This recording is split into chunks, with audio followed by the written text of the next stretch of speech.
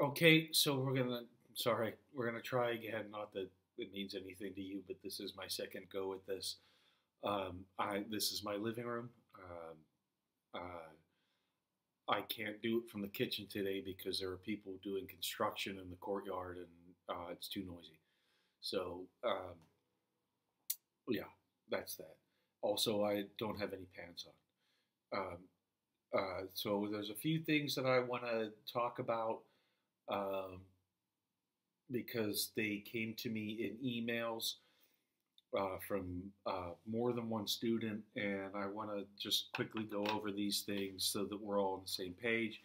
The first has to do with the order of the readings. Uh, we are sticking with the order of the syllabus. This does is not should not be an issue uh, for you in comedy, as we're still basically on schedule.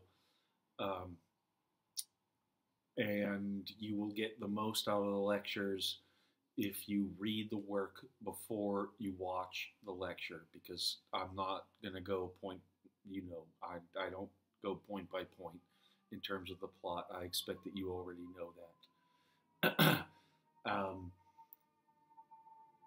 I have opened all the courses on Blackboard. Um, not Blackboard and CUNY First were both down for several days because uh, they couldn't deal with the traffic, and um, now they're back up. So just earlier today, I opened the the the Blackboard and the and the CUNY First. Well, CUNY First doesn't matter to you, but Blackboard matters to you. Um, so I'll both be emailing you the the uh, link to the lecture and at the same time also uh, be uh, still doing what I did the last time, which is just emailing it to you. And I mean, I think basically that's it. Again, I want to repeat if you have any questions regarding the lecture, please send it to my Brooklyn College email. Do not send it to the Gmail email atta- attached to this YouTube account. Uh, look at that.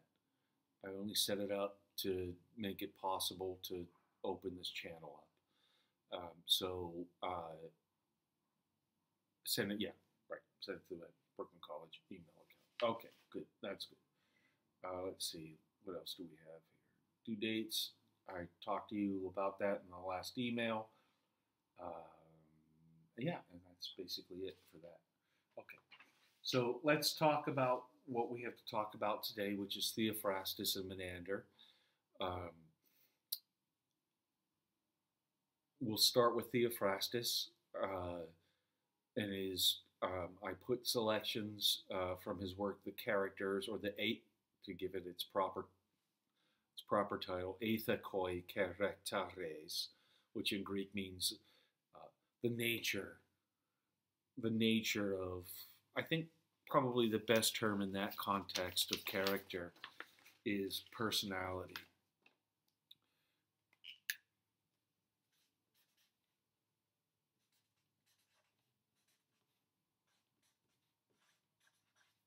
Right, so we talk about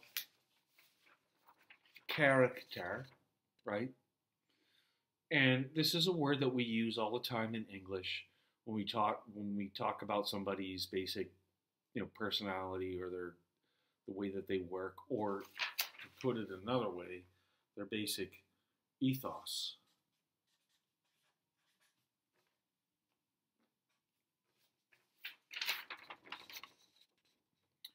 So, what does ethos mean? ethos means your way of life. Um, and when we talk, I mean, like it, it sounds like a kind of an abstract. Uh, it it sounds like a kind of an abstract idea, but think about it. I mean, what is your way of life?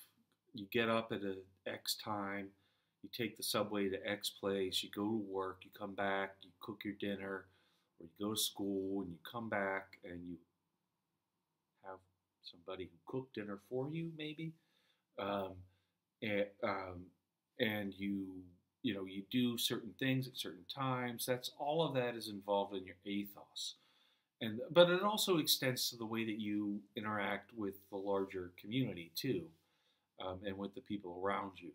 So the ethekoi uh, characteres um, means the ethos of the character.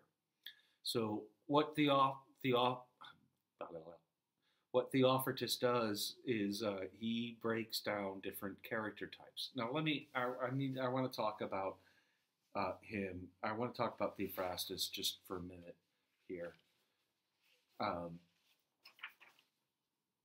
just so you know who he was and and uh, he was not an Athenian. He was born outside of Athens.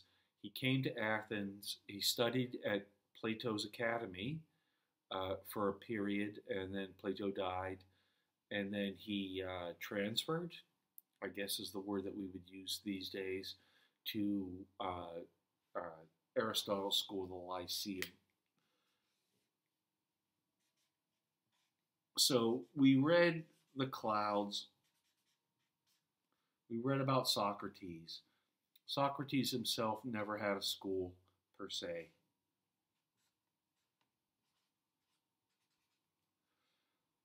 But Plato, his, uh, um, I, I, suppose now what we would call his star pupil, though, you know, who knows, um, did start a school. He did start a formal school. Um, and so what we're looking at there is Plato's school was called the Academy. Sorry, I'm still doing this mirror image thing the wrong way. so there's the Academy, that's Plato's school, right? And then uh, Aristotle came to study at the Academy and uh, was their star pupil and wanted to be uh, the kind of like, you know, top um, administrator at the school and was passed over for it uh, um, in uh, for the sake of Plato's nephew. His name was Speusippus. Don't worry, I'm never going to ask you to remember that name. But uh, yeah, um, so uh, Aristotle got pissed off and he walked. He went off and started his own school, and that school was called the Lyceum.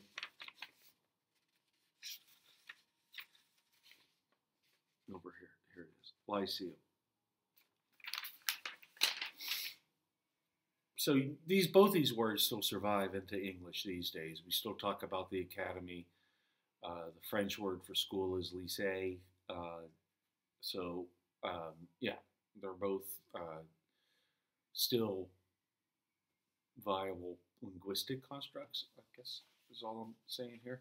Uh, but when Aristotle went off to found the Lyceum, it was a little bit different because Aristotle's approach to understanding and to learning was different from uh, Plato's uh, and and the Platonic Socratic tradition, which um, basically uh,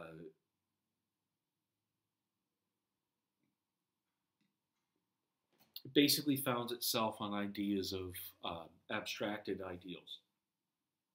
Like there, there is a beauty, there is an art, or I said shit. excuse me.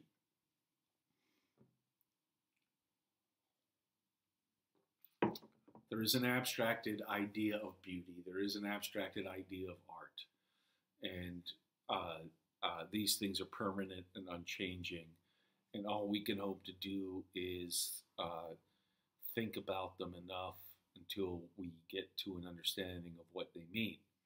Now, Aristotle's approach was different.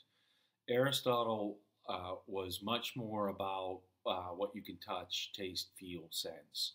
Right? Okay, so here we go. Now I'm going down the hole.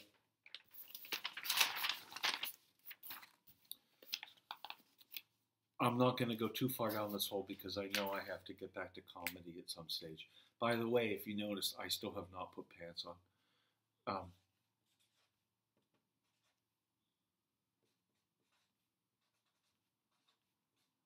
I'm going to give you some philosophy terms here.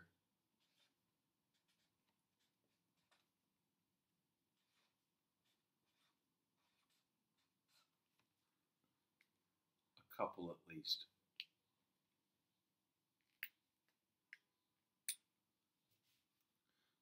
might as well. I started writing. I might as well finish.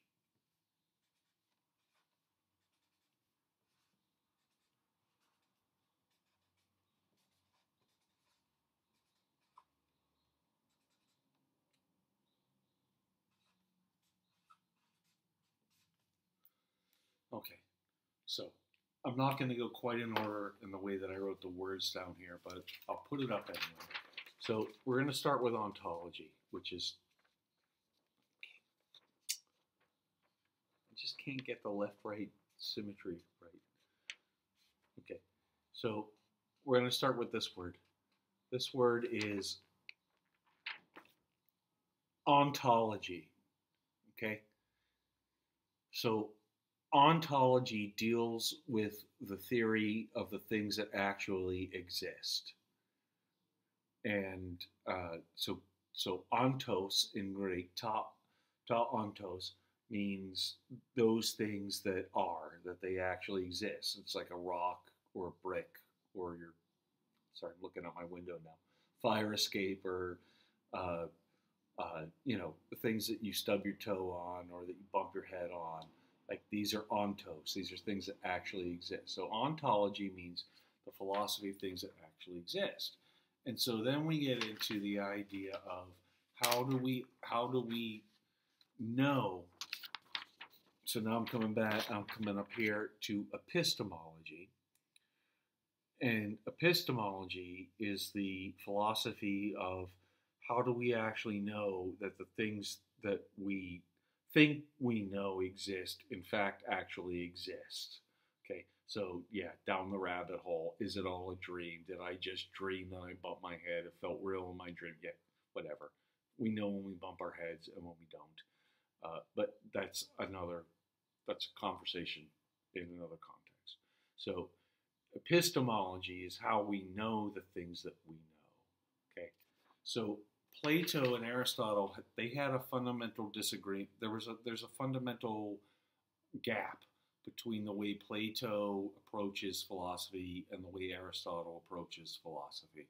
For Plato, the on, ontology, the things that actually exist, means that uh, you can build an argument uh, that will conclusively prove uh, the, the things you think exist do in fact actually exist. So it's based on uh, it's based on theoretical argument. Aristotle, on the other hand, um, though not necessarily to the extent that we do these days, but but but certainly um, as a precursor to what we do these days, felt that like, well, we should probably maybe rely more on what we see and feel and hear and taste and smell. Like maybe we should just trust these things as real and uh, forget it. Like, well, not totally. Like, not. No, I'm sorry, I went too far there. Not forget about the theoretical arguments, but like, let's take these things into consideration, right? So this is this is where we get into um, phenomenology. I'll write it here. I'll try to keep it on the page.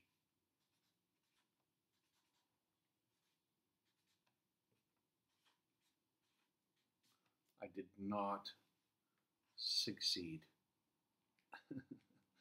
All right, let me grab a new page here. Um, not that one.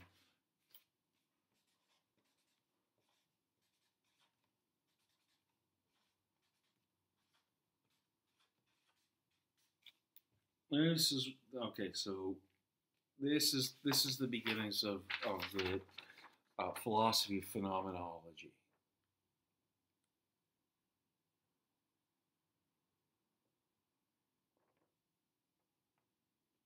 Ooh. Ooh.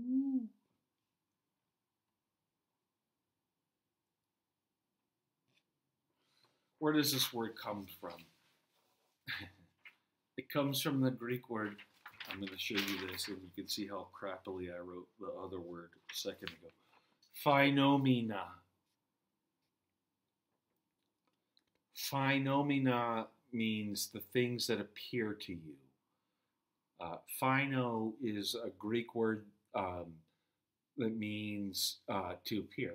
Uh, it literally means to shine forth. It's the word that you would use when you light a candle. Um, uh, and but it means to appear, to make evident, to be evident, to be to be there, to be present. Um, so Aristotle's bag was about phenomenology, and he uh, his school proved to be uh, pretty popular. Um, in fact, at one point, it, I from what I've read, it, it almost put uh, Plato's Academy out of business. I mean, Plato's whole philosophy is built on the idea of if you don't know math, don't come here. Like you had to pass, you basically had to pass a math entrance exam to get into the academy. Um, and math at that stage meant uh, higher levels of geometry. So you had to be able to prove volumes and all that stuff that we don't really think about anymore. Um, not that I'm not dismissing Plato.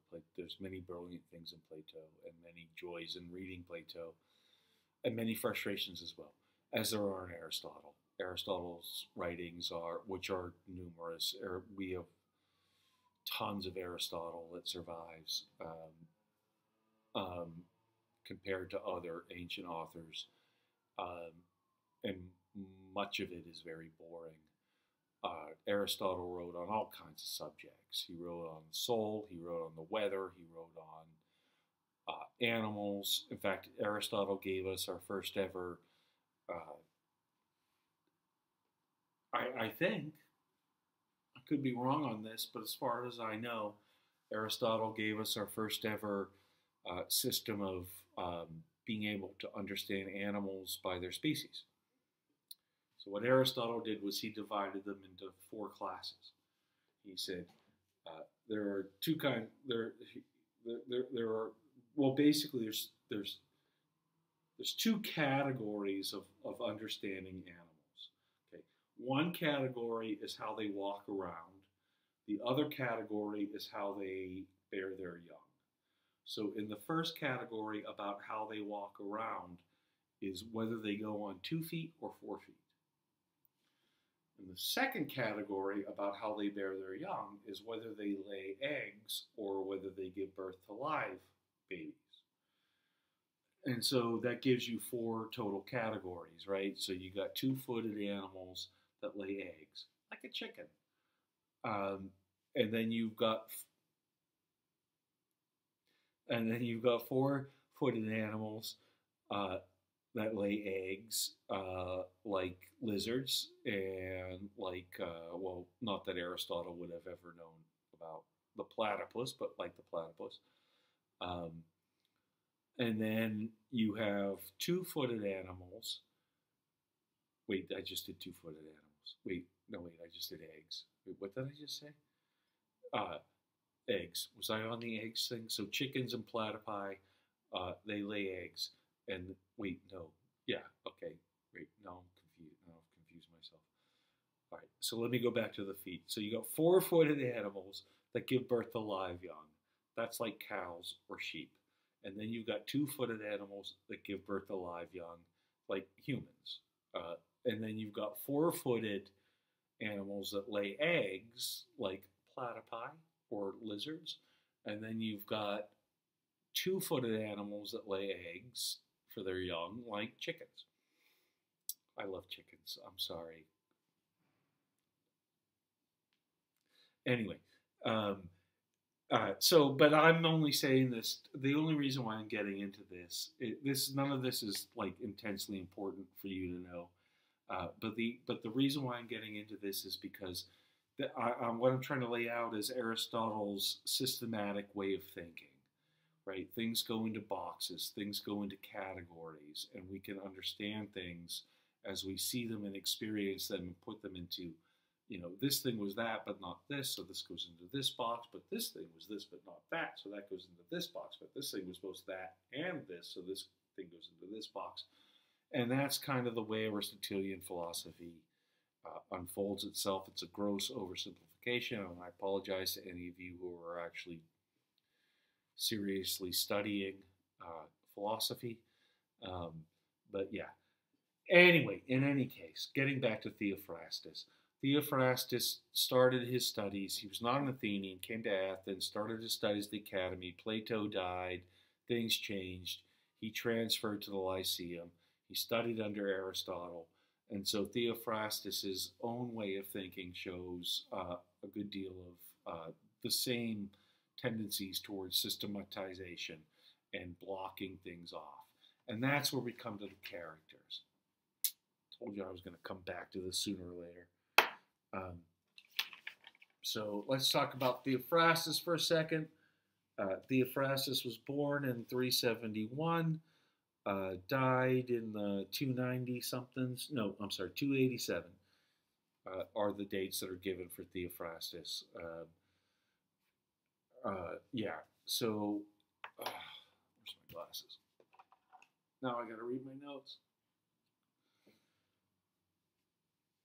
he yeah like i said he was a uh, uh, student of aristotle's uh, and there are there there is uh, there is evidence that theophrastus was formerly a teacher of menander um,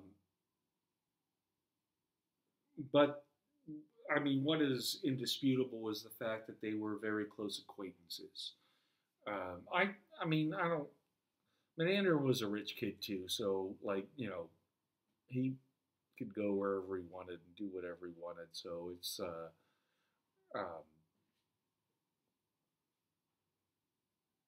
might have been a might have been a student, might have been a student of Theophrastus, but was certainly a, a, a, close friend of his.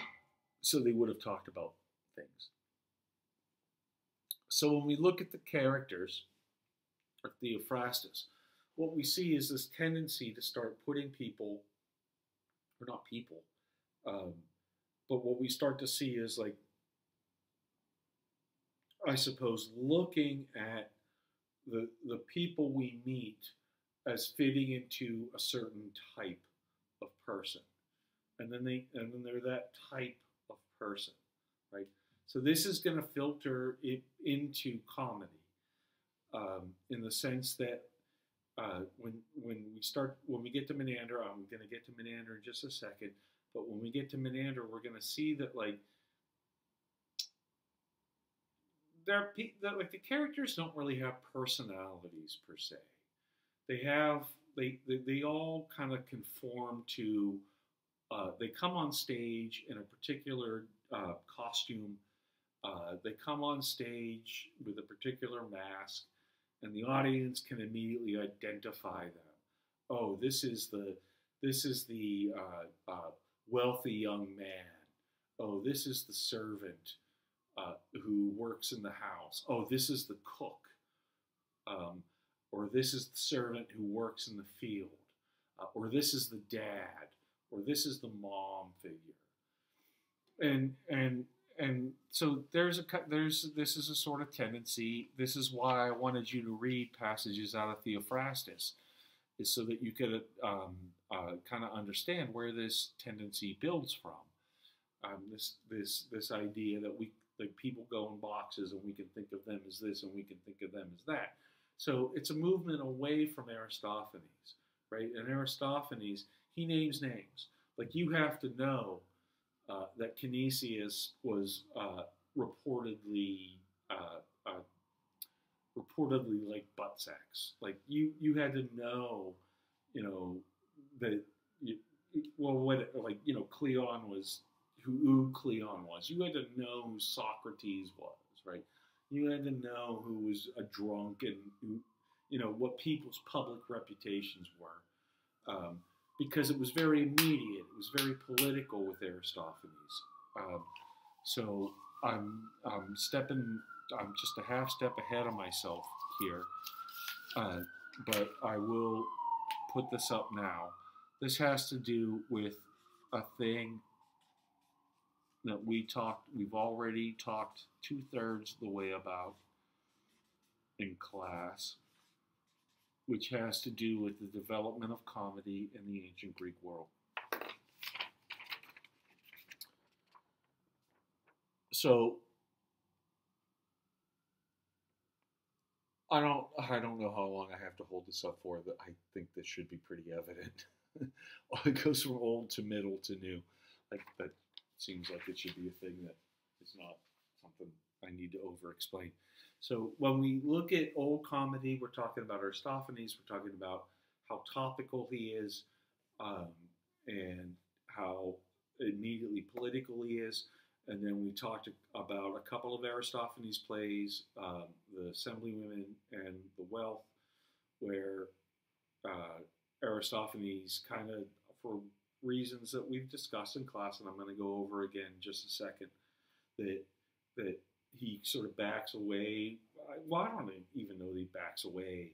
I mean, it's just it seems more like it's just a kind of a cultural condition that happens. I don't necessarily think that Aristophanes decided he was not going to make any more political references anymore. I don't think it, I don't think we have to read it that way, but um, that's the middle comedy, and then when we get to Menander, we get to the new comedy. So that means that what I have to talk about now, having got off Theophrastus, uh, or I'm not totally off Theophrastus, he's got the gossip, the miser, the miser. Remember that one? He's going to come back. Uh, the the buffoon.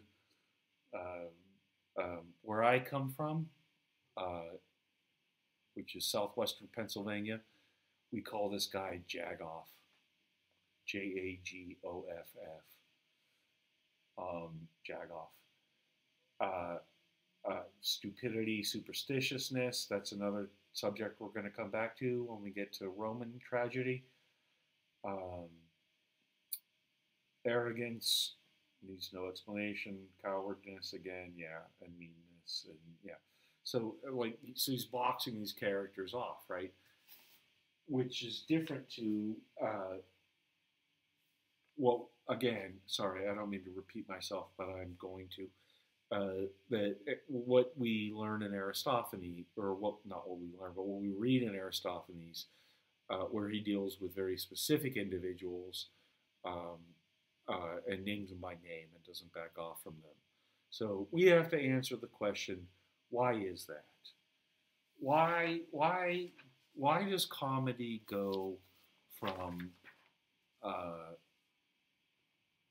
intensely personally political to this sort of like, hey, this guy's like this, you know, hey, here's the cook, ha ha ha, we know what the cook's gonna do. Here's a slave, ha ha ha, we know what the slave's gonna do. Here's a dad, ha ha ha, we know what the dad's gonna do. Like, how, where does that shift happen in comedy? And to, in order to understand that, we have to, we kind of have to understand the political uh, development that happened in Athens okay, and the and the timeline. So this is important. This is a, so uh, uh, perk up if you've nodded off, because these are things that I'm going to be asking you about uh, later uh, in your papers or on your exams. Okay, so one of the things that we have to think about is the development, the historical development of Athens. Um, and by development, I mean the I don't mean development as in like they got better. I mean like the way things turned out for them. So when you look at Athens in the 440s, 430s, and even into the 420s, and even halfway through the 14s, uh, Athens is winning. They're winning all the way. They they never got sick of winning, uh, but they uh, they uh, they were on the up and up the whole way. Their navy was dominant. They had total control of the seaways, certainly in the entirety of the Western Mediterranean, um, and uh, they controlled the uh, input output from the Black Sea, which was important because there's tons there were tons of natural resources, and there still are tons of natural resources um, all up that sea, and uh, but then they uh, kind of overshot their mark in the in when they decided to invade Sicily in 415, and they ended up losing the Peloponnesian War. We've been over most of this material already, so I won't repeat it to you now. Um, and uh, things got bad in Athens. They basically they went broke. They lost their empire. Um, they lost their navy in the Sicilian expedition, and with losing their navy, they lost their ability to uh, uh, exploit their uh, economy as well as exploit their enemies, not their enemies, their allies. Actually, sorry, I said enemies. I actually meant allies, uh, whom they were had been squeezing for 20, 30 years prior to this. So, uh, uh, so Athens was in a bad state, and so like when we think about this historical development in the history of comedy, we think about Athens and its ability to uh, self-determine which means that like you know you look at the 440s 430s 420s when the athenian assembly meets and when they take votes on things and when they elect, elect their officials and when they uh, propose laws and when they vote on those things you know this is a this is a thing that the city the polis the city state itself has a direct uh, say over right? But when you get back when you get down to the end of the peloponnesian war when you get down to the you know, 404, 43, 42, 401, in that range, Athens isn't making its own decisions internally anymore. Uh, yeah, they reinstate the democracy, in, I think in 403 officially, but you know, it doesn't. It takes a while, um, and uh, so uh, I think for me and my theory, uh, about the development of comedy is that um, the loss of direct influence over Athenian political life led to a loss of interest. The jokes aren't funny anymore. Who cares if you make fun of so and so? Who cares? No one cares. He doesn't have any say over anything. You know, and so what happens is and this is the movement. I'm sorry, I'm not done yet.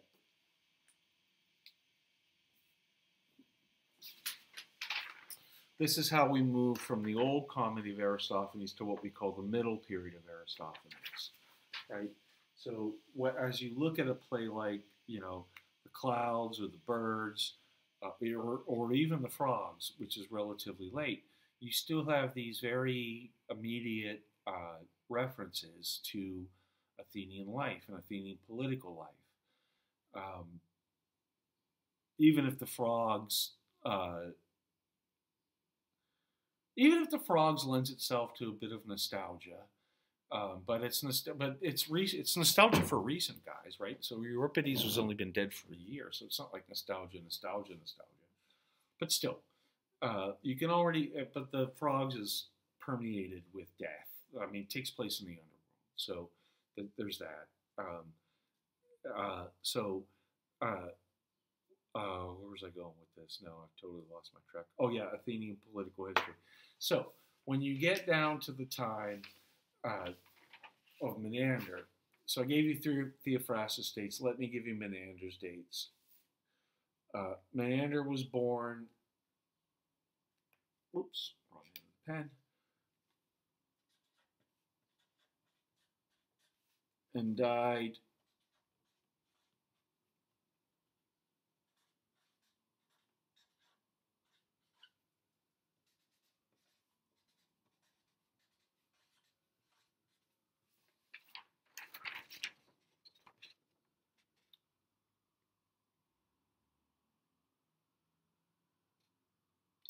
Now, these dates, of course, are not gospel truth. They're based on the best sources that we have and the and uh, and some of those are uh, dubious. So, uh, but it gives us a good framework to understand what's going on here. So, let me uh, talk about what happens between Aristophanes and Menander. Um, so Aristophanes dies in the 380s, and uh, at that stage, uh, Athens is and never will be what it was um, in the in the 450s, 440s, 430s, etc. You've already heard me say that already. Uh, and in fact, the, the Greek world remains in turmoil uh, for a long period of time. Uh, it, go, it experiences a series of hegemonies. So I know I gave you this word already, but I'll put it up again. Oops, you can get it on screen. There it goes. Hegemony. This word basically means authority, leadership, autonomous. Like it, it's a word that's applied to a uh, power that doesn't have any kind of official or elected position, but everyone knows is in charge. Is the hegemony. So we go through a period of hegemonies. I'm going to run down these real quick for you. Um, so uh, I'm not going to write them down or put them up on the screen, but you can look these up uh, if you want to do further research, or you could just uh, rewind the video. That would work too. Okay. So from 395 uh, to 386, we have the Spartan hegemony. Not surprising. Uh, Spartans came out victorious in the Peloponnesian War. They flexed their muscle somewhat, and so the rest of the Greek city-states uh, formed an alliance against them, including Greek city-states that were not allied during the Peloponnesian War. Uh, then you have the uh, then Thebes becomes the most powerful. So you have the Theban hegemony. Uh, uh there's a period where the uh, oh, sorry, wait, I skipped over this. Sorry, 395. So after the war, so there's the Corinthian hegemony after the Spartan hegemony is broken. So the Corinthians said, don't write it down, rewind it, and I screwed it up right away. Right. So you get the Spartan hegemony, then you get the Corinthian hegemony, then you have the Theban hegemony, then you have, I mean, the, the wars just go on and on through this whole period. I, I don't, I'm not going to list them all, but uh, again, so uh, well, I will list them for you real quick. If you want to look them up, it's worth looking at. Corinthian War, Theban War, then you have what's called the social wars. Uh, then you have the the sacred wars. Now there are three sacred wars. Um, this is the third one. Uh, and then you have well, and then you have the point where I'm I, I am coming to here, which is where well, all the time the southern Greeks are fighting in between themselves. The northern Greeks are are consolidating, um, and that means King Philip II of Macedon. Okay, so King Philip II. Now, King Philip I was back in the 600s. Okay, and we're not going to talk about him. So I'm just going to say King Philip from now on. Uh, but it is technically King Philip II, so just so that we're straight on that. Uh, he slowly makes his way southward into mainland Greece, uh, conquering basically city by city. And by the year 338, so when our boy Menander is about four years old, uh, Maced- uh, the Macedonians have conquered everything.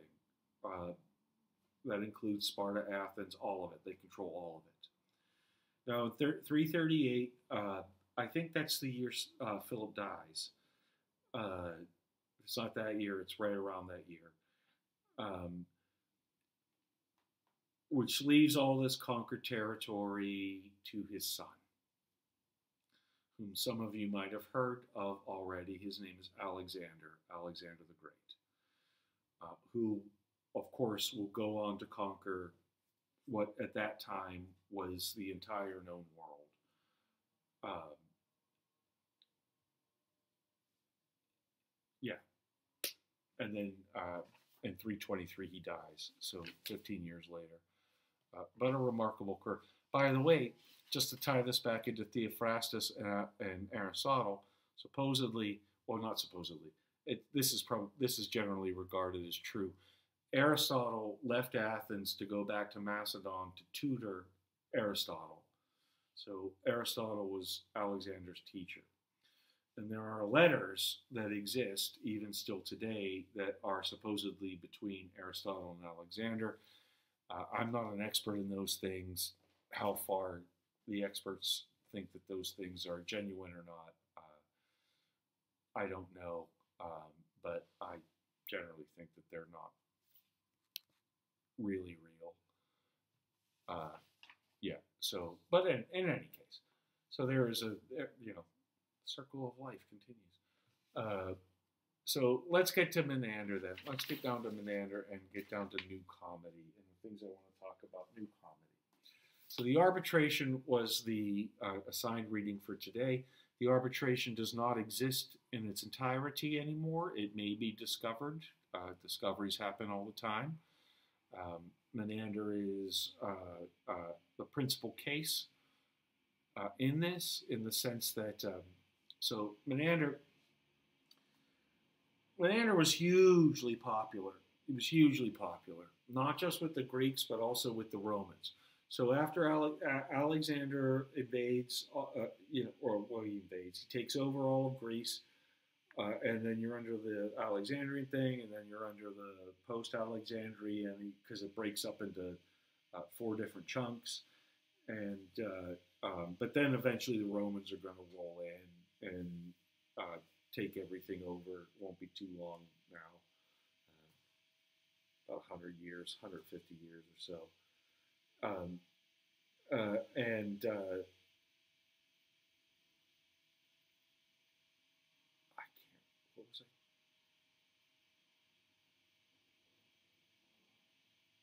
Oh, yeah, okay. But, okay, so having said that, all right, okay, I remember what I was talking about. The popularity of Menander, right. Uh, Menander, and I know I, I, mentioned the Romans because Menander will be enormously popular with the Romans. We'll deal with that when we get to Roman comedy. Uh, but the um, uh, uh, upshot of what I'm saying here is Menander was very popular in his own time. He wasn't the be- he wasn't the most popular. He had a rival called Philemon, uh, who uh, won more first prizes than he did, um, and uh, but but n- n- nobody bothered. So when we talk about the survival of ancient texts, that it's a function of how popular they were. I mean, just think about it for a second. If you, you know, 2,000 years from now, when people dig up what, what's left of New York City, what, what newspapers are they going to find? They're going to find like the New York Post, they're going to find the New York Times. You know, they're going to find the newspapers that were the most popular. They're going to find the most popular readings that, that, that were around at the time. And that's the same general uh, profile that we deal with when we deal with uh, archaeological files. However, with Menander, it's a little, the story is a bit funnier because Menander was so popular and everybody loved him so much that every like all the all the literary critics and all the uh, commentators all talked about how great Menander was. Uh, there was one who said, "Oh Menander, oh life," And there was another who said, uh, What reason is there to go to the theater except to see Menander? Uh, so, you know, he he was he was bigly popular, um, and uh, and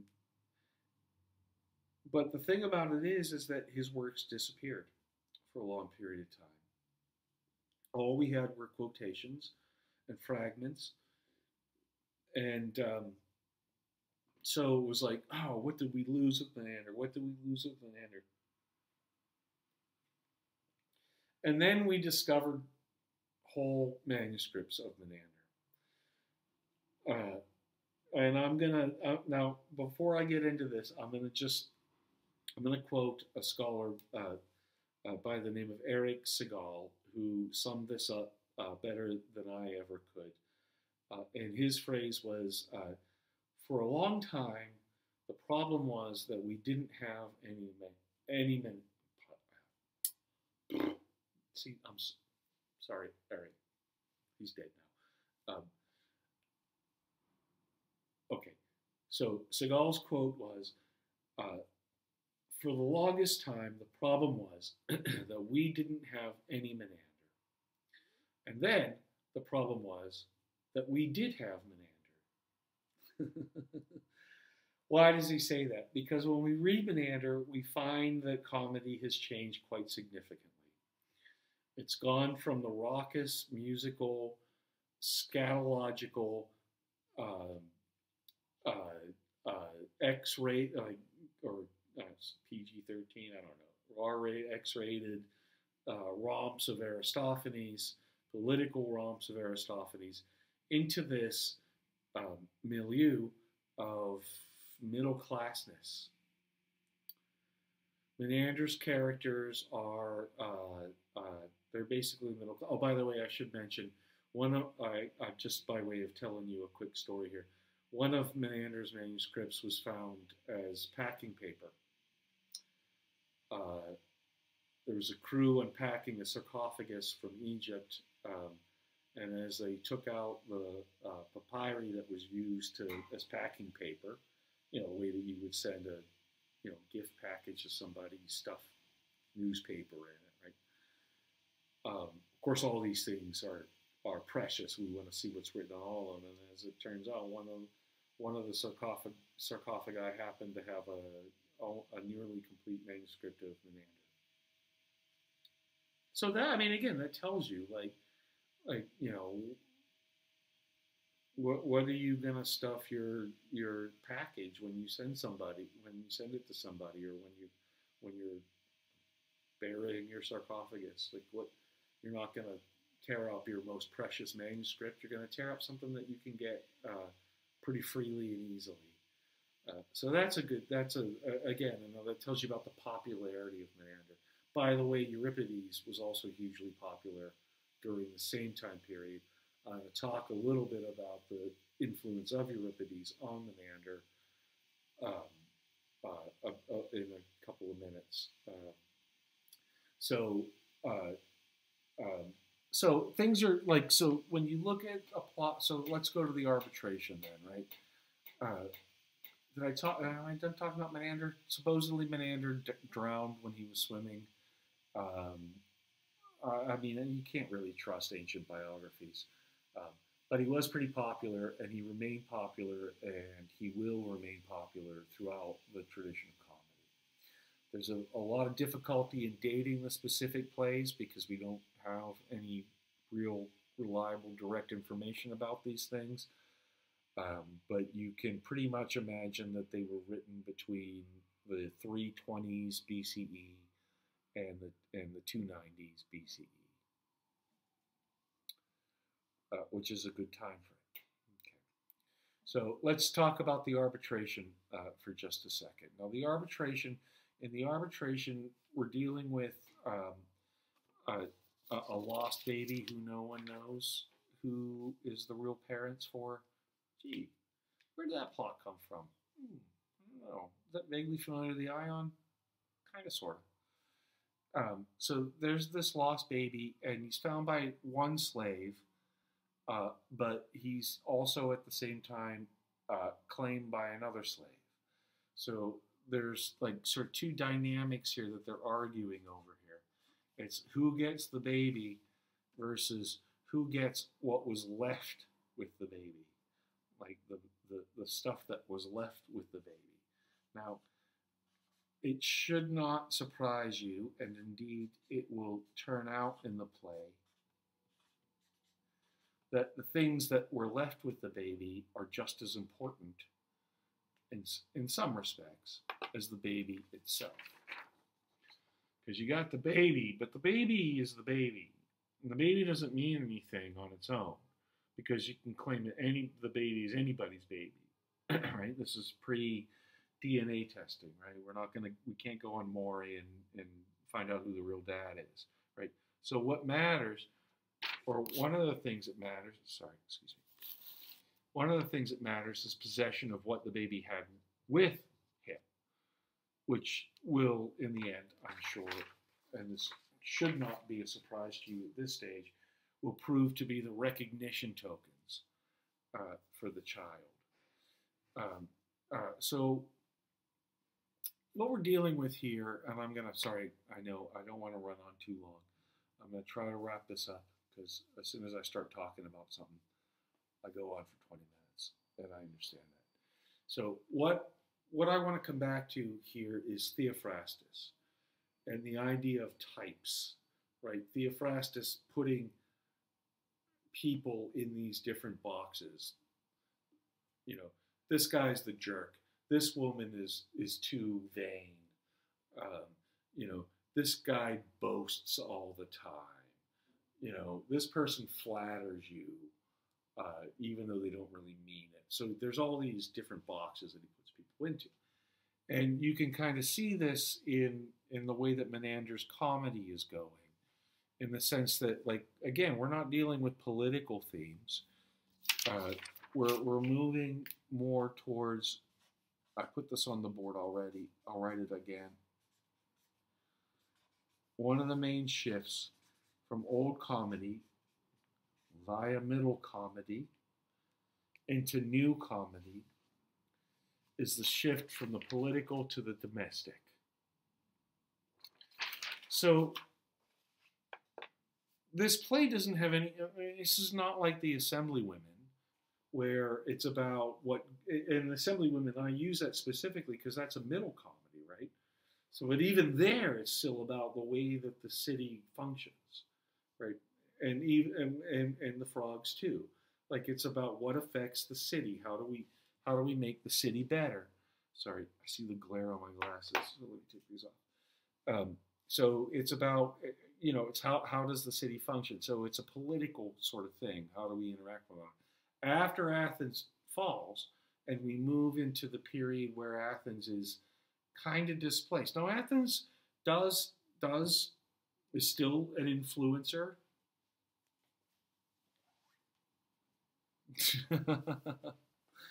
Athens still influences what happens uh, in and around the Mediterranean, um, and uh, uh, does come back to a certain level of power, but but never ever like it was back in the day. Uh, but the point of the matter is, is that uh, as the Macedonians come southward, uh, and certainly by Menander's lifetime, Athens is no like you don't have you're not making your own decisions anymore. Like you can't decide to use the Athenian navy to do X, Y, or Z unless you go through Alexander and Alexander's officials first.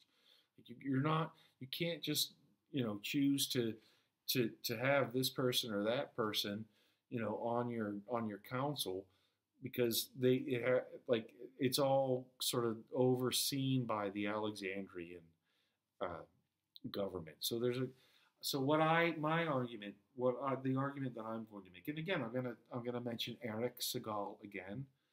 Um, and my, this my argument here is deeply influenced by arguments that he made, is that uh, uh, you know when you lose your your uh, political, your sense of like direct political influence.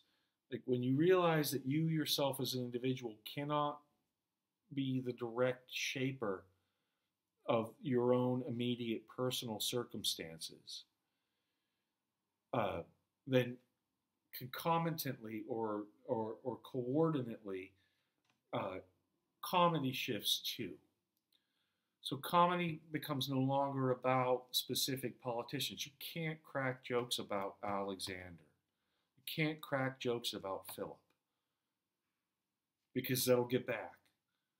And then, and then there's no like it's not like Aristophanes when Cleon when Cleon sues him and Aristophanes wins is acquitted by the Athenian courts in the 420s. That that's not there anymore, right? It's top down decision making at this stage. So comedy changes too. So what can we make jokes about? We can make jokes about family situations. We can make jokes about how frustrated we are with our slaves. So we get character types in this play, right? We get this. We get Davos, the the scheming slave. He's going to come back again and again. Not just the character type, but actually the name, Davos that actually becomes the name for that character type. Uh, who else do we have? We have, uh, uh, uh well, yes, we have rape, um, which doesn't happen, of course, in the play, but happened before the play. It's kind of the framing reference. Um, and I'm going to leave discussion of that until we get to Roman comedy. Um, we have uh, Habrotonon, who is the key, one of the key players uh, in the work, in the sense that she she is the one who manufactures the recognition scene in the end, right? But what is Habrotonon? She's a hetaira. I think I gave you. The, oh, well, maybe I didn't give you this word, so I'll give it to you now.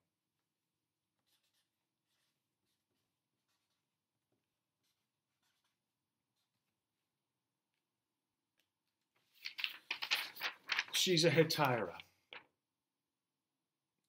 Now, this word means um, just uh, just uh, on its face, just as a like a as, as just as a bare meaning.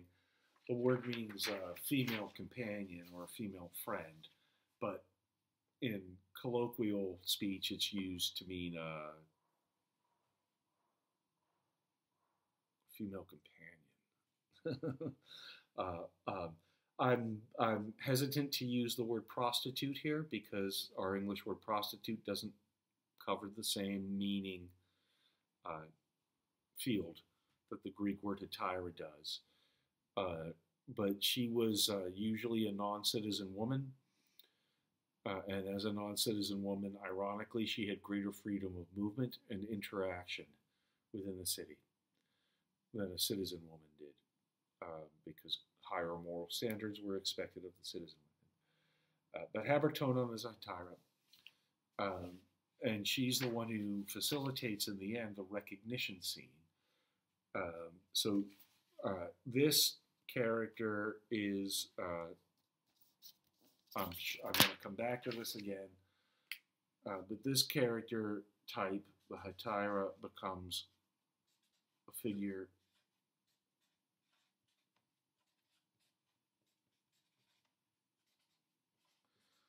that we will meet or we already have met throughout the Western comic tradition.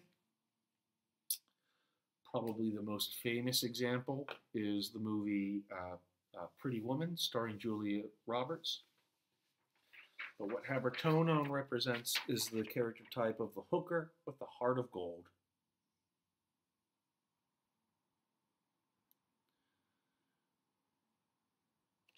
And what and, and what that means is that she is a woman of lower social status, uh, but who still maintains a higher moral character outside of whatever the affiliations with her with her social status are. Um, uh, let me think.